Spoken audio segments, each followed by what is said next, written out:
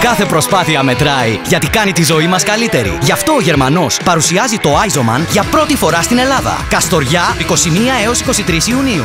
Every heartbeat counts.